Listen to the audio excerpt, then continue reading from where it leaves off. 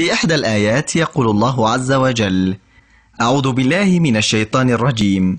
كم من فئة قليلة غلبت فئة كثيرة بإذن الله. والله مع الصابرين. انظر هذه أيضا معجزة قرآنية. كيف لجماعة قليلة أن تنتصر؟ فعليا تنتصر وذهنيا وفكريا كذلك تنتصر. انظر مثلا نحن جماعة من الأصدقاء صغيرة جدا هزمنا الداروينية هزمنا أكبر حركة دجل في تاريخ البشرية. لم تشهد البشرية حركة مثل هذه منذ أن خلقت الأرض. لم يحدث أن ظهرت حركة دجل توغل إلى هذا المدى في إنكار وجود الله. هذه هي الحركة الأكثر تأثيرا في تاريخ العالم. فهي أم جميع الخبائث تولدت عنها الفاشية والشيوعية والرأسمالية المتوحشة. الداروينية تسببت في تخريب العالم. هذه الحركة تسببت في إبادة ملايين البشر وتسببت في محو الإيمان من قلوب مليارات البشر. في الماضي كان الناس يعبدون الأصنام يجعلون علاقة بين الله تعالى والأصنام. أما الآن فقد تم إنكار وجود الله بشكل كامل. نعم هو إنكار مطلق. أستاذي أنت بدأت الصراع مع الدروينية وكنت وحيدا عندما خضته. بالطبع جماعة من الأصدقاء صغيرة جدا وما زالت صغيرة حتى الآن لكننا تمكنا من الانتصار على الداروينية في عالم يضم سبع مليارات من البشر. جماعة صغيرة تمكنا من إلحاق الهزيمة بأكبر حركة دجل في العالم. في الوقت الحاضر هم غير قادرين على الدفاع عن الداروينية في أي جريدة وفي أي مجلة. في السابق كانوا لا يتوقفون عن القول لقد وجدنا السلسلة عثرنا على الحلقة المفقودة. كانوا يشمتون بالمؤمنين. أليس كذلك؟ في كل يوم وفي كل أسبوع كانوا ينشرون صورا مزيفة. الآن فقدوا الجرأة ففي كل مرة أكشف لهم أكاذيبهم. اضطروا إلى الاعتذار في كل مرة.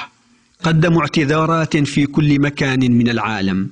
قدموا اعتذاراتهم في كبرى الصحف والمجلات في الصحف الأمريكية والبريطانية. قالوا لقد افترينا كذبا.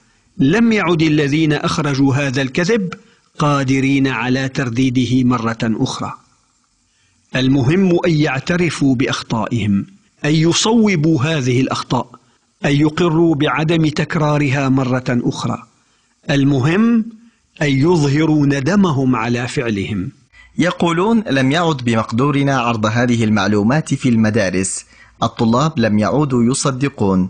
لا يصدقون في أوروبا وخصوصا في إنجلترا.